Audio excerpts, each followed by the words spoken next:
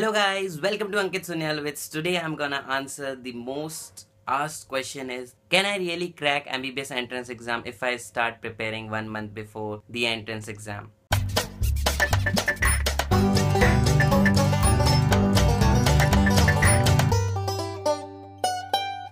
So let me answer this question just by asking one simple question. Imagine there are two students, student A and student B. Student A have started preparing for MBBS entrance exam from his 10th standard onwards and he have joined regular coaching classes. He has practiced lots of MCQs and his concepts are very very clear about the topics. Another hand is a student B who have wasted his whole year in watching entertainment YouTube videos, busy in social media, chilling with friend and in the last moment like one month before the entrance exam he thinks that I should start preparing for my MBBS entrance exam. So, whom you think will crack the MBBS entrance exam? The answer is very, very simple.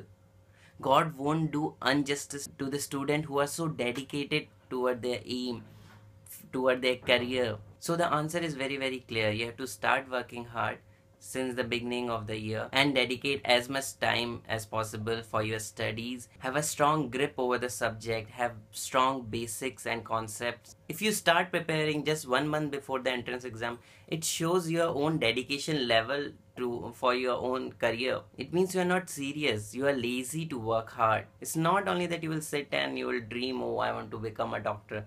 It's about working toward your dream to make it possible uh, this video is not to demotivate you but just to tell you this that if you are really really serious toward your aim so you have to start working for it as early as possible. Even still some of you want to argue uh, like why can't i crack? I've seen my seniors or my friends cracking uh, the entrance exam only under one month of preparation so there are four reasons. Either the person have very photogenic memory or very strong memory, like he can remember each and everything, whatever he have read in one month. He's having a genius mind. Second thing, he or she may be having a good schooling where his concepts are very very clear. The third thing is either he's fooling you, he have been studying, uh, regularly but he do not want to tell you oh, I have started preparing for since my 10th standard. Or the fourth one is a luck. Luck factor is always there in most of the entrance exam. That's why in most of the entrance exam negative marking uh, concept is there. So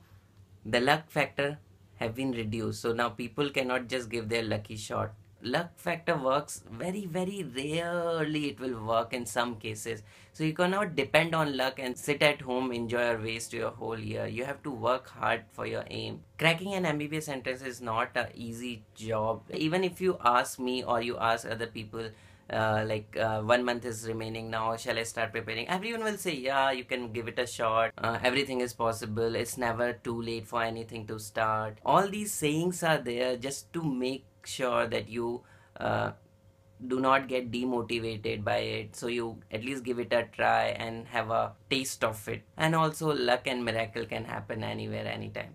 But last month is not to sit and start the preparation. Last month is to sit and revise whatever you have read in your six months or in your whole year. You have to revise. You can join any uh, crash course. Crash courses are there for to revise not to start new to join test series. Last month is there to just brush up your knowledge. So my advice to you guys is if you are really really serious for your aim start preparing as soon as possible. You have to dedicate yourself. You have to work hard for it to make sure that your dream come true. Do not waste your time. So all the best guys. See you guys in my next video. Bye bye